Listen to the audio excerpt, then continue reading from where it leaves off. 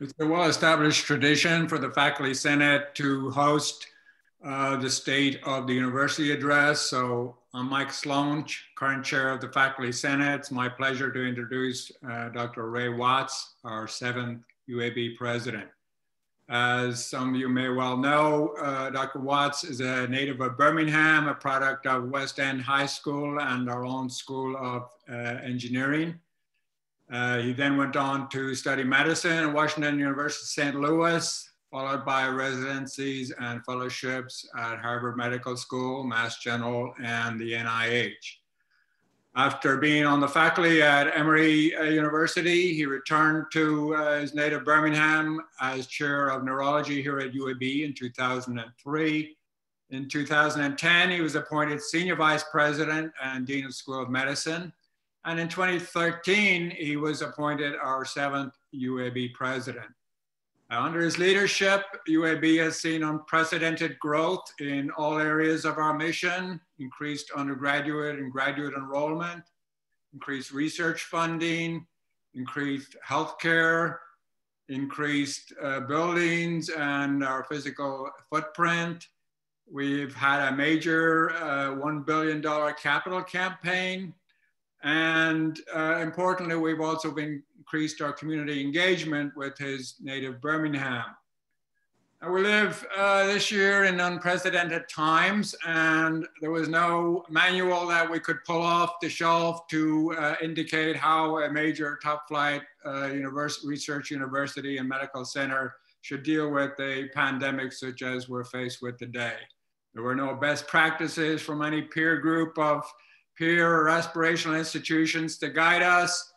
And so under Dr. Watts's leadership, uh, UAB turned inward and we drew on the expertise and talents of senior leaders, faculty and staff throughout the campus uh, to develop procedures and protocols to cope uh, with the pandemic so that we could return to our core missions of education, patient care, and research. Now, the planning and implementation of all these procedures has been a massive undertaking starting way back February uh, or so. And uh, importantly, leaders from undergrad and graduate students, staff council, and also leadership on the faculty senate have been involved in uh, making these decisions and implementing these, these procedures. Uh, needless to say, all constituent groups of our UAB community has had to make sacrifices, and I think it's to uh, great credit to Dr. Watts's leadership that despite the severe financial um, uh, considerations that we face, that the impact of, of COVID on our students, staff, and faculty has, has been minimized. Um, Obviously, every group has, has made sacrifices, but given the response of the UAB community, I, I think we're off to, we're well into a, a successful fall semester. Uh, as chair of the faculty senate, uh, I join the leadership calls uh, several times a week, and uh, it's evident that Dr. Watts and senior leaders at UAB are making evidence-based decisions and hold the health and safety of students, faculty, and staff uh, as their number one priority, and we must remain uh, vigilant in this. Um, so it's my pleasure now to welcome uh, Dr. Ray Watts for the 2020 State of the University Address. Thank you. Well, thank you, Dr. Sloan. Uh, you summarized well some of the challenges that we faced in an unprecedented time of a pandemic like the world has never seen for 100 years. But I can say that I can't be prouder than I have been of the entire UAB community. Our community has risen to the, every challenge, worked unselfishly, and many times 24 7 dedicated themselves to the greater good to help us fight this virus and help us keep the UAB community. But beyond that, the Birmingham and metropolitan area of the state, and indeed the work that our researchers and doctors and healthcare providers and others have undertaken are helping people across the country and around the world. First slide, please.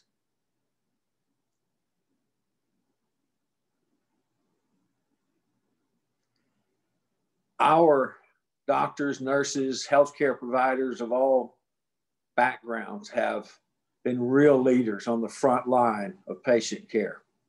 And they have sacrificed themselves in many ways to care for an unprecedented number of patients with COVID that in March and April almost shut our hospital down, except for dealing with this new pandemic. But they have all worked hard and risen to the occasion. Our infectious disease and pulmonary critical care faculty and nurses worked right on the front line caring for the sickest of patients. Our physicians and nurses across the hospital, leaders across the hospital and the health system, Doctors Vicker and Ferniany, Reid Jones, and everyone on their teams worked tirelessly. Our experts from the School of Public Health and School of Health Professions, from information technology, informatics, microbiology, basic research across the board gathered together to undertake the challenges faced by COVID. Our leadership, faculty, staff, students, and community supporters have worked to help us attack this through research. Through the efforts of Tom Brannan and our development teams, we raised $1.4 million and put that directly to pilot research grants attacking COVID from all angles. We funded 24 six month high impact grants that have produced results that are leading to new large grant proposals and are studying the mechanisms of this virus, how to stop it, and studying how to develop vaccines. Our investigators in the hospital and in the clinics on the clinical trials front have been at the forefront of testing new treatments and testing new, new vaccines. That's going on right now, today, and every day. Our talented faculty and staff work together to build the Health Check app and the GuideSafe exposure notification app to help us keep our UAB community as healthy as possible.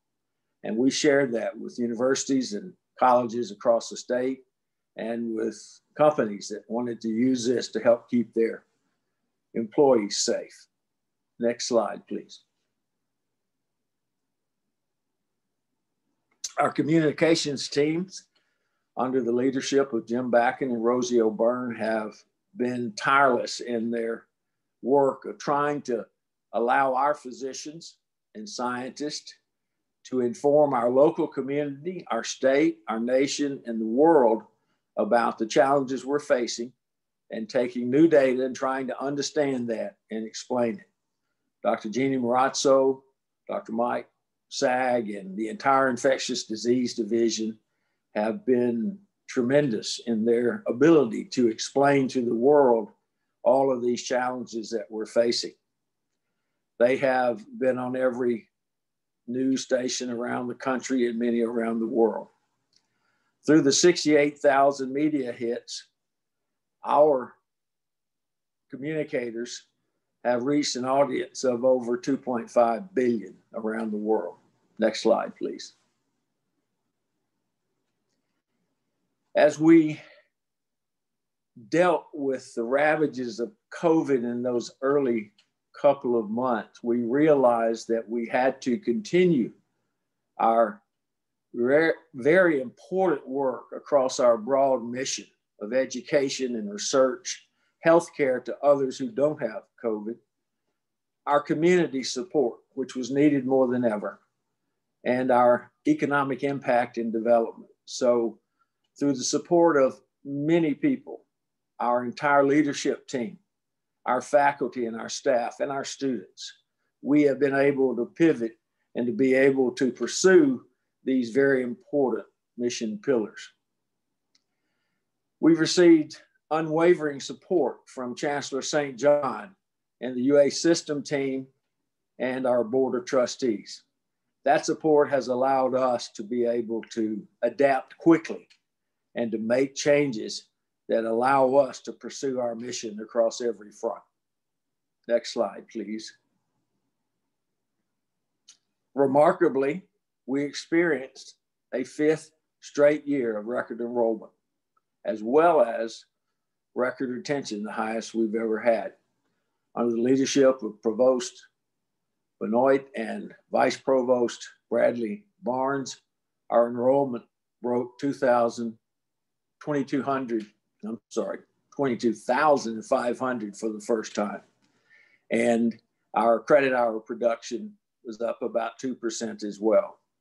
We continue to have one of the most diverse student bodies in the country. And you can see 42% of our undergraduates are underrepresented minorities. And proudly, we are one of only 14 universities nationally to receive the Insight into Diversity, Diversity Champion Award. And you can see that we're educating many undergraduates who are first in their family to go to college. And we know that this education will change their lives and it'll change their families' lives and their communities. Next slide, please. Not only do we have the largest student body ever, we have the most academically prepared freshman class ever with average ACTs of almost 26 and average GPAs of over 3.8. Our Honors College, under the leadership of Dean Blanton, continues to excel with enrollment reaching almost 2,500 this year. And their increased freshman average ACT was over 30 and GPA over 4.1.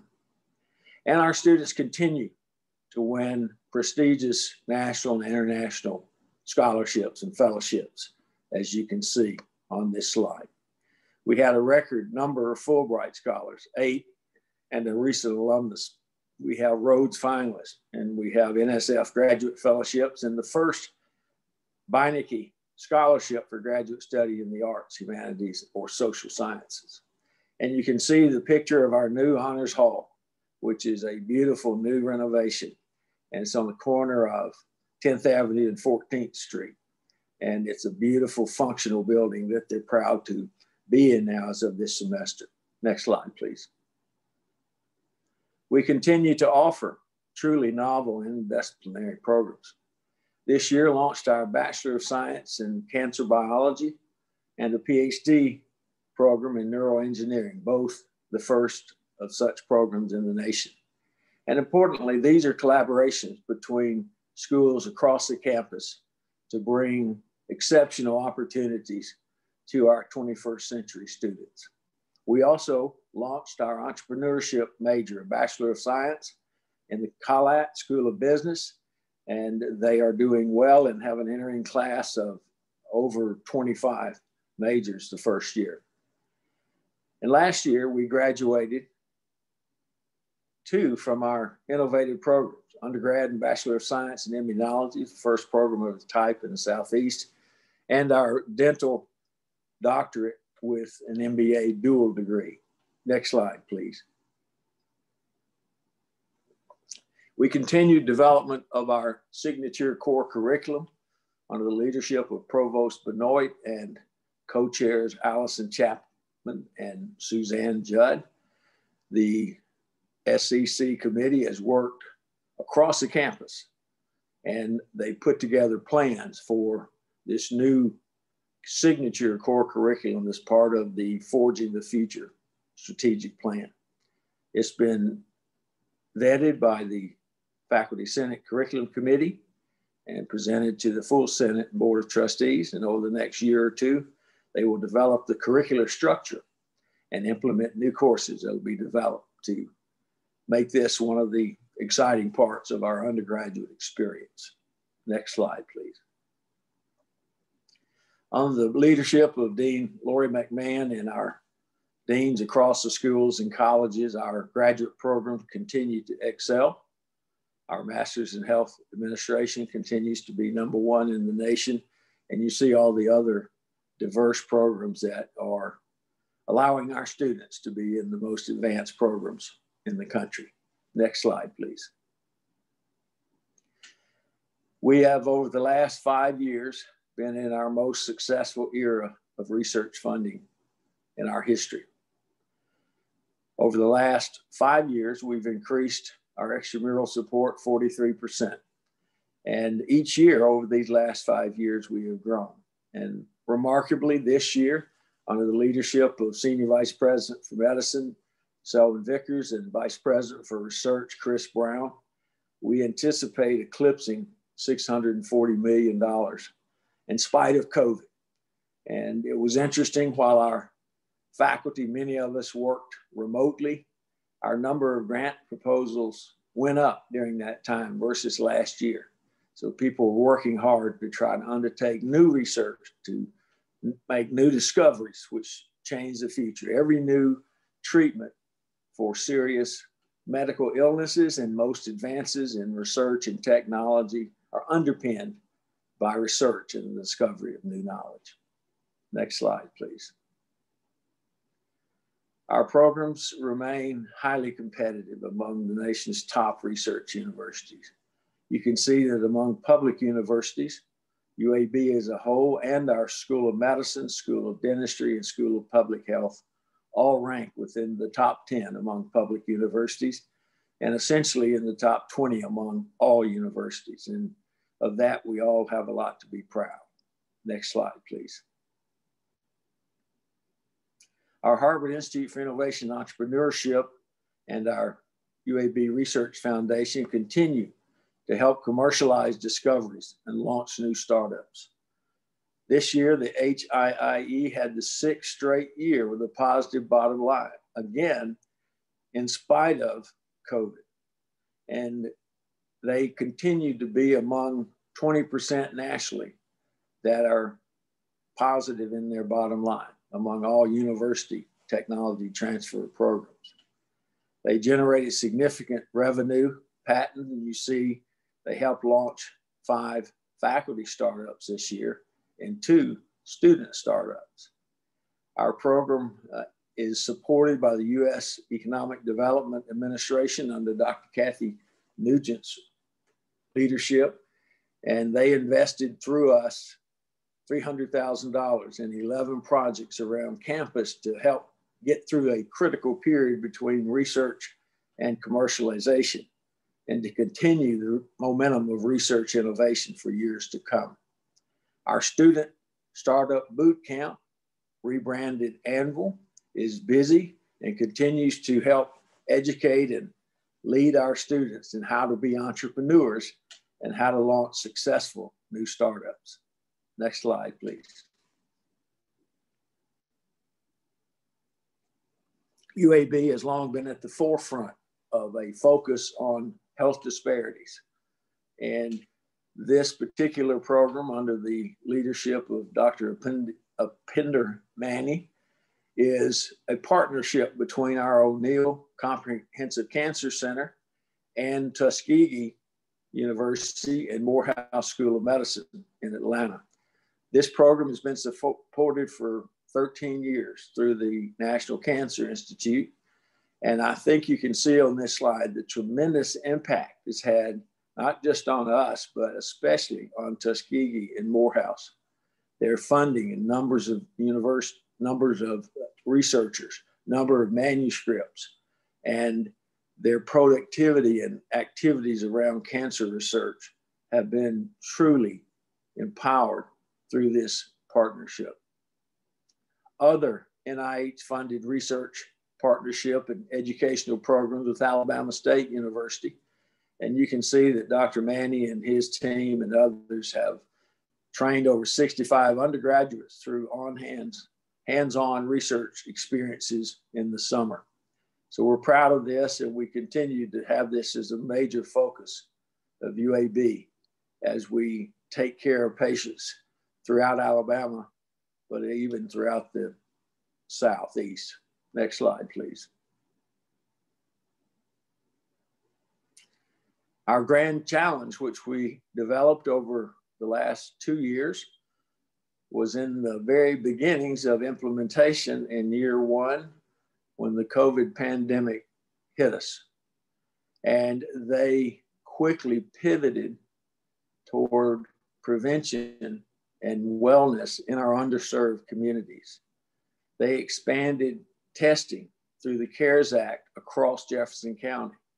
They helped set up 69 community testings over 37 days at 26 different sites. They went into communities and neighborhoods, and the neighbors could walk up and get a COVID test if they didn't have a car to drive to one of our drive up locations. And they have continued to work to help battle COVID in our neighborhoods, in our underserved communities throughout Birmingham and Jefferson County. And we continue that work and they continue to expand and will do more. Next slide, please. But they haven't lost focus on the grand challenge that was being launched when COVID hit us. They have continued to work in our four demonstration neighborhoods Kingston in the east and Eastlake in the east, Titusville in the west, and Ensley Bush Hills in the west. And of course, our own campus and our own employees are a demonstration zone as well. Through work with our facilities team and our Department of Civil Engineering and Construction Engineering, they put together plans for improving the built environment and the physical space within these neighborhoods. They're involved now in building or repairing sidewalks, bus shelters, crosswalks, and additional street lighting and Wi-Fi hotspots and blighted home removal and cleaning up and improving these neighborhoods to make them attractive and make them available for increased physical activity and exercise and for making safe pathways for their students from their homes to their school, in this case, the Hayes K through 8 school. But they're working also in Titusville doing the same kinds of enhancements. And importantly, this has been enabled by a great partnership through UAB working with the city of Birmingham, with Alabama Power, with Brasfield and Gorrie, Dunn Construction, Vulcan Materials, Kirkpatrick Concrete Incorporated, and many other partners who are investing in this work to help improve these neighborhoods and to provide opportunities for the young people and the adults to have better access to education and better access to healthcare. And you can see that they also are working to improve nutrition through community gardens and mobile health markets and vegetable stands, etc. Next slide, please. Not surprisingly, in the world university rankings, UAB was ranked first in the US and seventh globally for community outreach around health and well being. And as the largest employer and certainly the largest academic medical center and one of the finest in the country, and our university broadly. We take our service to our community very importantly. We want to do all that we can to have UAB help our community be a place for excellent education and good quality of life and good access to health care. Next slide, please. It's been challenging, but also our teams in UAB Arts Alys Stephens Center, Arts and Medicine, AVA, have been working hard to continue to bring the arts to our community, to our UAB community, and to our community beyond, to our young people. And they have been innovative. And they've used virtual events and socially distanced live events. You can see a photo there of the Alys Stephens Center partner in the Birmingham Arts Drive-In. And you can see in the bottom that Ava is hosting their most ambitious exhibit ever called A la carte, featuring works from over 30 international known artists that focus on food to explore social and cultural issues. So innovation continues in the arts as well as in the sciences, medicine, and education. Next slide, please. Our athletic teams are more competitive than ever this past weekend with the win against Western Kentucky. Our football team, home winning streak is 21, the longest in Conference USA ever, and the third longest nationally behind Clemson and Notre Dame. Our women's cross country team excels. Recently had four top finishes in a meet, and they brought home the team title. And our basketball season tips off in late November, and our new men's basketball head coach and alumnus, Andy Kennedy, will start his tenure as head coach of our basketball team. Randy Norton and the Lady Blazers will hopefully have a great season as well. And work continues on Protective Stadium, which is the BJCC new multifaceted stadium that will be home to the Blazers beginning in fall of 2021. Next slide, please. Our campus plan continues to unfold, transforming our campus into the one of the most technologically advanced, modern, and attractive urban campuses in America. We will be opening our newest residence hall, Green Hall, in the spring semester. It's a 31,000 square foot residence hall that will house over 730 students. It also has a new dining hall, which is needed to serve our growing enrollment, and it's a LEED certified, sustainable building, which we are proud of. Next slide, please. We're excited that the School of Education was able to move into their newly renovated space in the Education Engineering Complex. They now occupy the wing that was formerly occupied by the School of Business and it was renovated over the past nine months and our facilities team did a great job as usual and they're now holding classes there this fall. Next slide please. This is our new information technology building. It's called the technology innovation center and under the leadership of vice president Curt Carver. Our it and research computing have reached levels of excellence never seen before. This will be a modern 21st century facility that will contain our IT programs as well as our research computer. Next slide, please.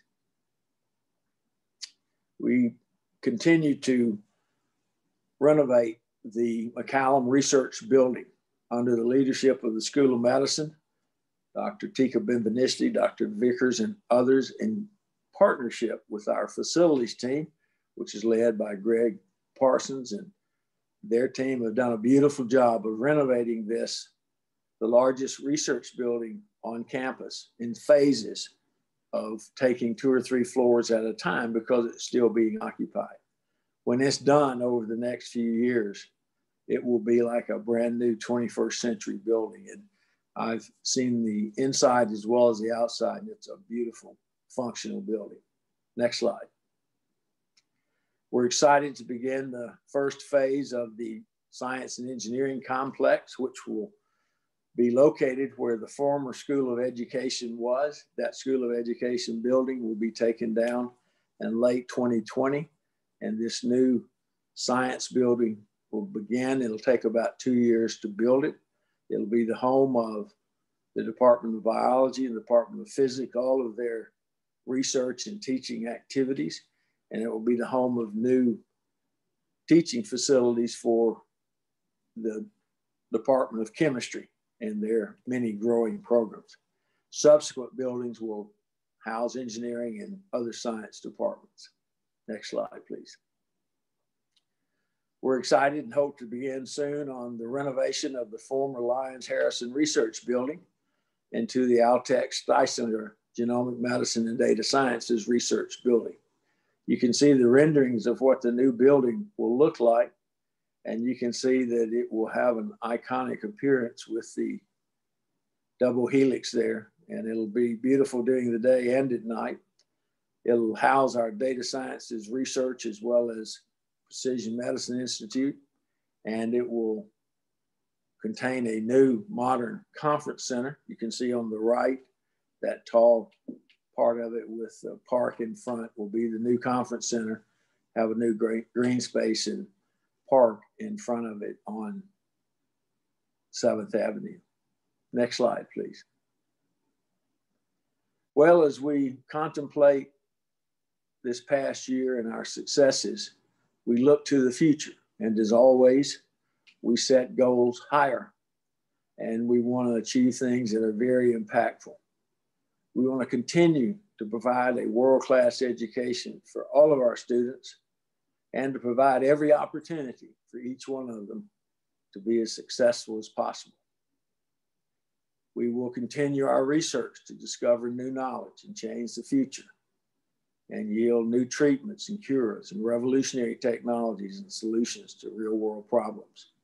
And we want to continue to help drive robust economic growth in Birmingham. We will continue to provide leading edge compassionate care to all the people of Alabama and beyond. And we will do our part and help conquer COVID 19. We will continue to engage in our community. And our grand challenge, we want to change the health of Alabamians across the state over the next decade. It will take a lot of work and a lot of partnership, but we're excited about the challenge. Health, education, arts, culture, we need to build productive partnerships that advance our campus and our community and our state. And with that, I will stop and be happy to open the floor for questions. And we have others on our senior leadership team available as well. So thank you for your attention. Thank you, Dr. Watts. I think if we were on campus, you would hear applause at this point. but so we'll virtually applaud you. applaud Thank you. you. Yeah, thank you. All right, so we're open for questions. Um, I'm Rosie O'Beirne. I'm going to help moderate the questions that are coming in. Um, we've already had a few, so I'll just jump in, but you're welcome to submit questions. Either um, you can disclose your name or you can do this anonymously. Um, Steve W says, outstanding work, thank you. Um, their question is, what have we not been able to accomplish that's still on our immediate or longer term planning list? So I'll kick it to you, Dr. Watts. Well, you know, I six months ago I would have had a different answer, but today I would say that we have accomplished much uh, on our goals and list of activities for this year in spite of COVID. And I think if you take COVID into account, we've probably accomplished more than we have ever accomplished in the history of this great university.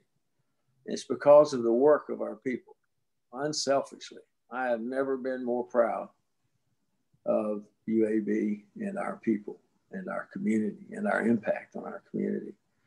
And our leaders and faculty and staff have worked so closely together. We've tried to communicate and express and show and share the challenges that we face so that we can all help participate in finding solutions. So I think if we had not had to deal with COVID, we might have done more in some areas. But the interesting thing is that with COVID, in our hospital, we have had the highest case mix index, which is the level of severity of illness ever. But we've also taken care of more patients than ever. And we brought our clinical enterprise back up to full speed, and it's actually ahead of full speed of a year ago, which we thought was about as much as we could do being able to bring our students back to campus in this hybrid format in the fall has been a real important accomplishment. And uh, in spite of COVID, we thought we might be down in enrollment, but we are up. And I think it shows the excellence of the programs. But we also prepared as well as possible to make sure we had the safety measures in place on our campus through facial masking and through social distancing and through diligent hygiene and hand washing. And we've done well on those fronts. There have been a few times where some have let down their guard, and we've had some increases in students over the last couple of weeks. And it just goes to show that we have to remain vigilant and we have to work with this virus in our midst. And we know the most powerful way to do that is to use these safety measures until we develop vaccines that'll hopefully protect people in a much broader way. So it's a great question. And uh, I think fortunately we've been able to accomplish everything we set out to and probably more. The other thing I want to mention is that, you know, back in March, we were looking at the severity of the impact on our healthcare enterprise and our university. And we were facing unprecedented challenges of potential losses. So we had to implement strict cost cutting measures and at the same time work on campus where essential, but virtually for many others. And we were able to stabilize our budget and end the year on September 30th with a balanced budget and going into fiscal 2021 with our increase in clinical activity and with our research enterprise returning to full speed and with our academic enterprise being very active, we're going to have a good year in 2021, but we still have challenges to overcome. Fortunately, our state budget is stable. It will be about 2% above last year. And that 2%, unfortunately, was taken up by expenses like new technology for our hybrid classrooms, et cetera. But we will have a positive bottom line. And I want to thank our leadership in our financial areas, Allen Bolton, Senior Vice President for Finance Administration, his entire team. I want to thank Don Bulgarella, Chief Financial Officer of UAB Medicine and the health system. And I want to thank the leaders in the School of Medicine, the other schools who worked hard to implement these cost cutting procedures. We were pleased that even though we didn't have a merit pool for salary increases in the coming year, we were, able to return the 403B match, the employer match, and we allowed everyone who couldn't take vacation this year because they're working 24 7 to roll that over into the future because we want you to have that benefit. And we also work to be able to combine for more vacation days right before Christmas and New Year's, as we did last year, so that our employees can have increased time with their family and friends and recharge their batteries. And we want them to be excited about coming back for 2021. To follow up on some of the things you just said, an attendee submitted a question uh, asking about merit increases. Are they still off the table? UAB has saved millions of dollars in the pandemic through furloughs, savings with employees working off campus, CARES funding, increased enrollment, increased research funding, and finally by not matching our retirements for six months. If not, where are all of these savings going? So I might yeah, uh, pass that, that over to, to Allen. Yeah, I'm okay. glad, to, sure. glad to take Dr. that Watson. Thank Allen? you. Uh, so I'm Allen Bolton. I'm the Senior Vice President for Finance and Administration. Great question, and, and thank you for that. Um, we are not, as Dr. Watts mentioned, uh, moving forward with the merit program for the current fiscal year that just began two weeks ago. Uh, and it is because of the financial impact of the pandemic. Um, your, your uh, the questioner is correct in, in some of the savings that have been uh, reaped, but there's also been uh, significant investments in the campus to prepare the campus to uh, uh, resume operations during the pandemic. So things such as investment in classroom technologies that have enabled the distance learning, those have been very significant as we partnered with the provost office and Dr. Carver's area in information technology to get um, everything uh, equipped and ready for the hybrid classroom setting that we're in now.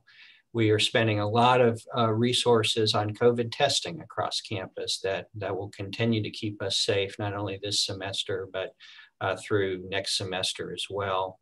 Lots of investment in cleaning supplies and protocols, uh, the face masks that Dr uh, Watch uh, Watts mentioned uh, were, were all provided to all students, faculty, and staff as, as we resumed operation. So very significant cost. Um, and um, that's where the resources have been committed for the current year.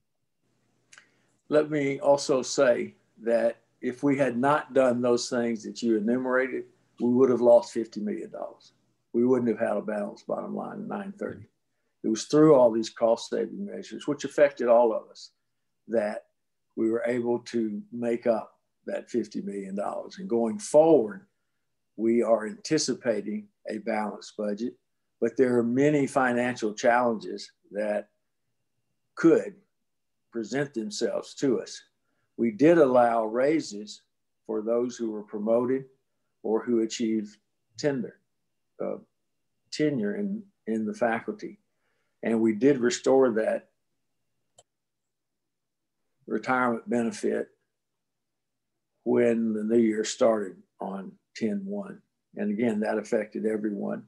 If we hadn't done those things, we'd be like a lot of other universities wondering how we're going to survive. The health system faced even greater challenges and uh, worked extremely hard to bring back the clinical enterprise as quickly as possible. People working day and night. And through CARES funding and through those cuts, they were able to balance their budget at year end, which back in March, we would have been, if you'd asked, we'd say we weren't going to be able to do that. We're going to still have tremendous challenges. A lot of states, universities are you know, down 20 or 30 or 40% in their support. And they're struggling to survive. Because we have strong fiscal management and, you know, have great enterprise in all of our missions, we were able to withstand this and in a way that really um, many people would find exceptional. Thank you.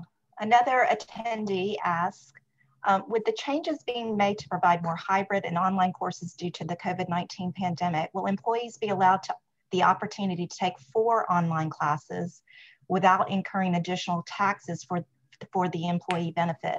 Currently, employees can take up to four in-person courses or three online courses without being taxed for the employee benefit. The price difference between these type of courses is the online fee. With no foreseeable end for the COVID-19 pandemic, employees want to limit their time and exposure to the virus as much as possible. Would it be possible to waive the online fees during this time for employees? So I'll give that to Allen Bolton. Sure, glad to answer that one or respond to that one. One of the real benefits of a town hall forum like this is we're often um, have issues raised that have not been brought to our attention before. This is this is a new one. We've we've had some texting while the question came up among those of us on the call.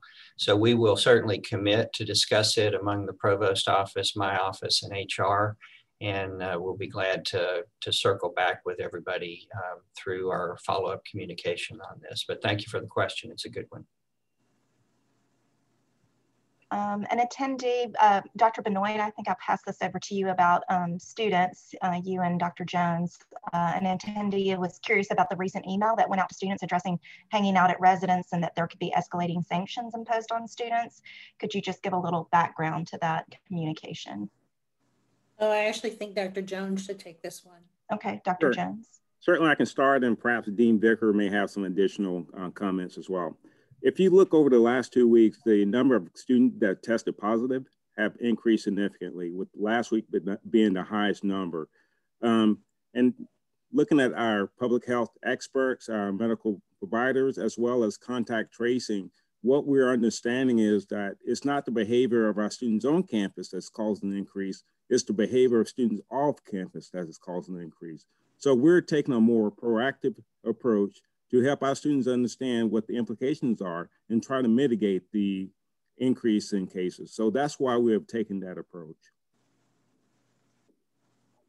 I'll, I'll comment, Rosie. I think we've met with our students, particularly of our medical leaders, and I think the the, the real tenor of that conversation was the concern about the increased number of positive students but most of all the positive message that we gave hopefully that how proud we were of the students and what they had accomplished uh, i think the whole campus should be extremely proud uh, of uab's performance and protecting our staff and students really been recognized on a national level yet with that said uh, there has been an uptick, which is significant for UAB. It doesn't reach the level of some other schools our size, but it's big for us. And so our efforts, as Dr. Jones said, highlighted that we found that on campus remains extremely well managed and arguably very safe as it relates to transmitting the virus. But activities off campus clearly appear to be the source of the increasing numbers that we've had. So that was why the focus to try to address that. Thank you. And a, just a follow-up question there from an individual that says, what is the current plan to ease students back into in-person instruction and on-campus activities? So many, so many are struggling with anxiety and depression under the isolation of COVID restrictions. So I don't know if you want to continue, um, but Dr. Benoit and- I'd like to start with that one. So right now, as Dr. Vickers just indicated, there's an uptick in cases. So our plan for the spring is to continue with the variety of different kinds of instructional methods that we had this term um, and to begin on January 19th. At the same time, we recognize that um, everyone has fatigue with the pandemic and we're trying to uh, work with students and faculty and staff to think about different ways to address mental health issues and give opportunities for safe ways to uh, socially engage with others. Um, I know that Dr. Jones's Student Affairs um, organization has been working very intently both this semester and we're also doing planning for next semester for students to have different kinds of ways of, um, of addressing mental health issues. I don't know, Dr. Jones, would you like to contribute more to that?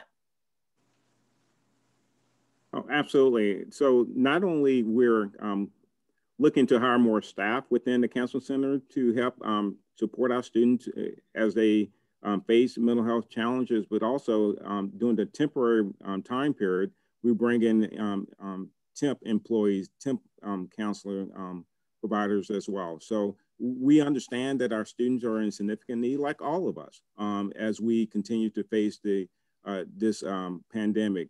Uh, but at the same time, we want the students to know that we put in everything um, putting all our places, uh, our staff in places to best support them as well. So, just to chime in, uh, in the class schedule, it indicates what format a given course is in. So, if a student prefers in person, then they can go after and sign up sections for those courses that are in person or hybrid, which has partly in person, partly online.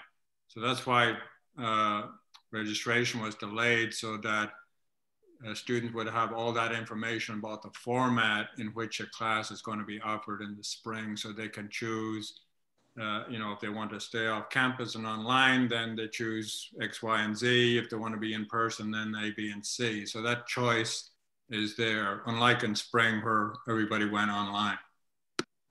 I also want to remind um, all of us that the stress of the pandemic also affects faculty and staff and the Employee Assistance and Counseling Center um, is available to address uh, any concerns or anxiety that you may be feeling because we know that this is something that is affecting our entire community.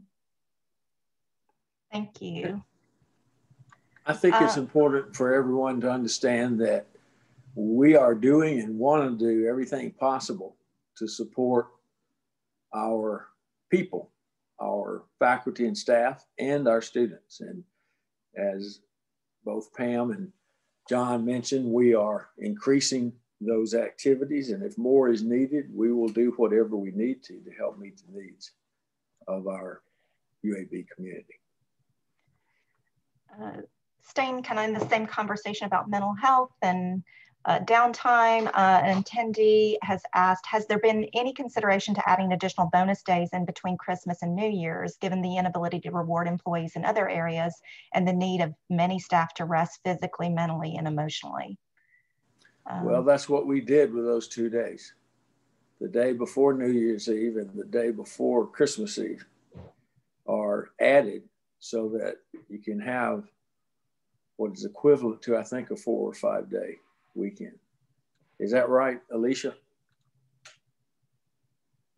I'm sorry. Yes, sir. It will um, make two four day weekends. So two additional days were added to recognize what was mentioned, and that is to reward our employees and to have them have more holiday time with their families. An attendee uh, says, Dr. Watts, thank you so much for the great wealth of information you provided today. What does the future look like as far as being able to come back to working full time on campus for those presently working from home? Well, it is hard to predict the future of this virus, but in all honesty, medically and uh, public health wise, this virus will be with us for many months and probably years. And the likelihood of having a vaccine will not be a reality until probably at the best the first quarter of 2021 and it may be the latter part of that. But to deliver that vaccine to you know 300 million people is going to take time. So we have to plan for the spring semester as we are doing and just like for the fall semester, we are trying to create opportunities where our students can choose the type of instruction that best fits their needs. But there will be in class instruction, and we will be pursuing our research in the research laboratories. Our investigators and their research teams have to keep six feet away from each other. And that's awkward. That's not easy. But we have to do it so that we can protect our community. We know those three principles help protect from spread of the infection. And it's worked well on our campus. And the reason we're concerned about those student gatherings is three or four weeks ago, we were having, you know, 12, 15, 17 students a week being positive. And the last two weeks, it's been about 50 or 60 students being positive. And it followed in part that homecoming weekend where there were gatherings off campus and other things that were not in the best practice of social distancing and mask wearing. But we can manage this infection. We have to if we do what we know we need to. And it is likely it will be with us throughout the next year and probably beyond there's no guarantee that the vaccine will work. And that's unsettling for some, but it is just the truth. That's why there are multiple vaccine and some newer antibody trials. So there's diversity in the attacks that are being pursued because we don't know which one might work, but it's going to be with us. We'll be as normal as we can, but be, I'm thankful that we can work both on campus and remotely where necessary. And we can continue to pursue our mission. And I hope that we have, you know, record years in the coming year. I think we can. But we have a very dedicated UAB community, and we want to do all we can to foster safety, but also to be as successful as possible in pursuing our goals because the people of Alabama and our families and everybody needs it and the people beyond. Several people have submitted the question about hiring freeze and if it would be lifted. So I'm not sure that. Oh. I'll be Allen. glad to take that one, Rosie. Um, So we did roll into the new year and have continued the hiring suspension. Uh, there is a, a uh, exception process uh, to that if uh, if there are certain uh, conditions that could be met, such as ex external funding, for example. Um, and we can intend to continue that through at least the first quarter of this fiscal year. Uh, once we have good information on our financials at the end of this quarter, so probably in the January, February, February timeframe, uh, we'll bring that back as well as the travel restriction back for reconsideration. But at least through the first quarter, we'll maintain the hiring suspension. I'm going to try to squeeze just a couple more questions in. Um, maybe uh, Dr. Vickers, this one could be for you. Has the university looked into the potential of new rapid testing technologies like the Abbott Binax COVID-19 credit card to integrate into campus surveillance in the spring semester? So we have. Uh, we've initially uh, looked into and have the purchasing of the Sofia platform, which gives a 15 minute test turnaround time. Um, the, and, and that will be a part of our pathology. It is already a part of our student health department, um, but it will also be included in employee health. The challenge with both this platform and the Abbott Binax Now platform is availability. I think many of you have heard the government announcement of it availability, but they bought up 150 million of those cartridges, so they're not accessible to the general public, unfortunately. Hopefully, by the end of the year, in early January, we'll ha have more access to the Binax Now, and hopefully the general public will as well. Um, but I would say the following is that um, you can be tested negative one day, and if you encounter or sort of forget the principles that we've talked about, you can be positive the next day. So, testing is really valuable, uh, but it doesn't supersede the behaviors that Dr. Watts mentioned. But in short, we are pursuing the more rapid test as a part of our tools. Thank you. We have um, many questions that came in that we just can't get to. So please know that we will share our communications team uh, researches the answers for these questions and we provide answers um, to unanswered questions in eReporter. So please look out for that. Um, having said that, I'd like to just kind of um, hand over to Dr. Watts for some closing remarks.